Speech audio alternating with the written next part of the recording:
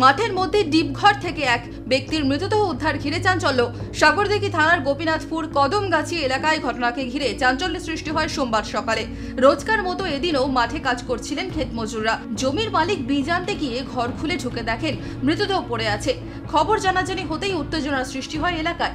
জানা যায়, মৃতের নাম আনিকুল শেখ, ওই গ্রামেরই বাসিন্দা সে।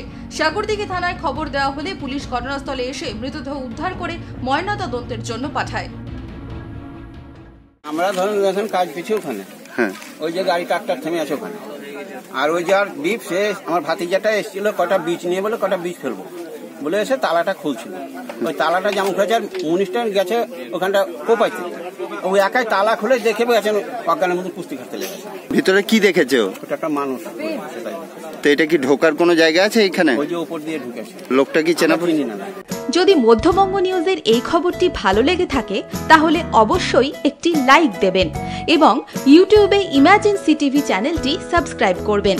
আর যে কোনো খবরের দ্রুত আপডেট পেতে সাবস্ক্রাইব করার পর বেল বাটনে একটি ক্লিক দেবেন।